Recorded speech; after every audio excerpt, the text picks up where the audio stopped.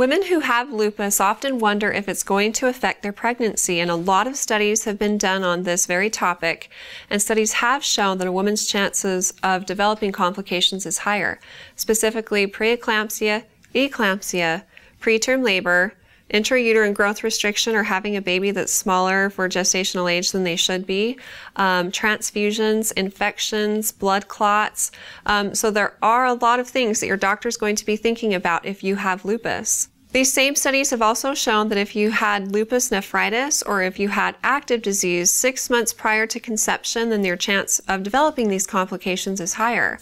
So your doctor is going to put you in the high risk category and watch you extra closely during pregnancy, labor, and delivery for signs of these complications. I suggest talking with your doctor about it, and based on their knowledge of your circumstances, they'll be able to tell you if they have concerns and, and explain what they're watching you for and why. If you have more questions for me in the future, feel free to ask them on our Facebook page at facebook.com forward slash Intermountain Moms and recommend us to your friends and family too.